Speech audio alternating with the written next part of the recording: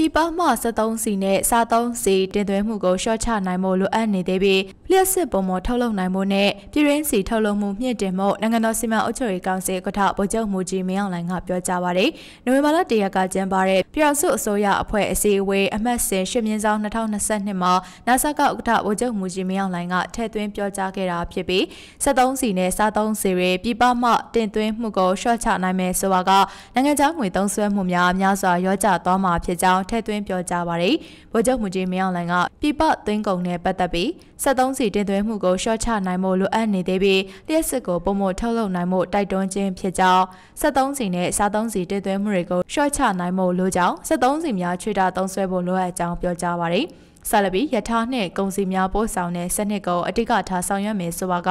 73စီသုံးဆွဲမှုကိုရောကြစေမှာဖြစ်ကြောင်း73စီသုံးဆွဲမှုရှော့ချရေးနဲ့ပတ်သက်ပြီးဝန်ကြီးဌာနများအနေနဲ့မိမိတို့ရဲ့နှိစက်ရာအလိုက်စုပေါင်းအကောင့်ထဲပေါ်ဆောင်ရွက်ကြဖို့လိုကြောင်းလည်းပြောကြားပါတယ်။ဒါအပြင်ပြည်ပမှစားသုံးစီတင်သွင်းမှုကိုရှော့ချဖို့ပြည်ရင်းစီထုတ်လုပ်မှုကိုမြင့်တင်ဆောင်ရွက်နိုင်ရန်လိုကြောင်းစီထွက်သီးနှံတွေရဲ့တအေကအထွက်နှုန်းကိုတိုးတက်အောင်ဆောင်ရွက်နိုင်မယ်ဆိုတာက